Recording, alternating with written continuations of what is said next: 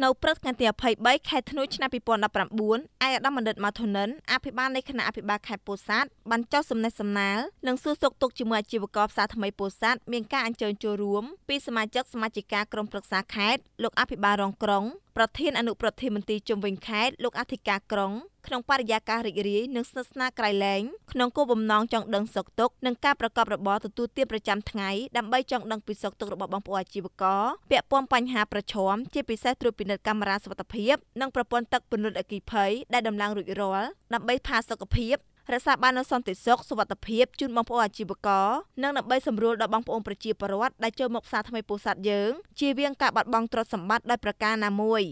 ឯកឧត្តមអភិបាលខេត្តបានជំរុញឲ្យក្រុមគ្រួសារអ្នករត់ម៉ូតូឌុបបើបានឃើញជាក់ស្ដែងដូចជាករណីឆក់ឬករណីល្មើសច្បាប់ផ្សេងផ្សេងត្រូវចូលរួមសហការបង្ក្រាបឬរាយការណ៍ជាបន្ទាន់មកអាជ្ញាធរមានសមត្ថកិច្ចដើម្បីឲ្យមូលដ្ឋានយើងមានសុខសុវត្ថិភាព។ឯកឧត្តមបានមានប្រសាសន៍បន្តថាសូមឲ្យបងប្អូនប្រជាពលរដ្ឋក៏ដូចជាអាជីវករ បងប្អូនត្រូវតែដឹងគុណចំពោះសម្ដេចតេជោហ៊ុនសែននាយករដ្ឋមន្ត្រីនៃកម្ពុជាបើគ្មានសម្ដេចទេនោះក៏គ្មានវត្តមានរបស់អាដាមនៅទីនេះដែរហើយអ្វីដែលយើងមានសពថ្ងៃគឺដោយសារគុណ7មករា1979នាំឲ្យប្រទេសជាតិមានសុខសន្តិភាពពេញបរិបូរណ៍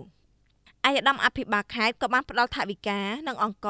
ជូនដល់ជនចាស់ជរាដែលបានយកបន្លែបង្ការបន្តិចបន្តួចមកលក់ដូរចិញ្ចឹមជីវិតនៅទីផ្សារនេះ។ បន្ទាប់មកឯកឧត្តមក៏បានឲ្យលោកអភិបាលរងក្រុង និងអ្នកគ្រប់គ្រងផ្សារថ្មីពោធិ៍សាត់រៀបចំសណ្ដាប់ធ្នាប់ជុំវិញផ្សារថ្មីនេះផងដែរ។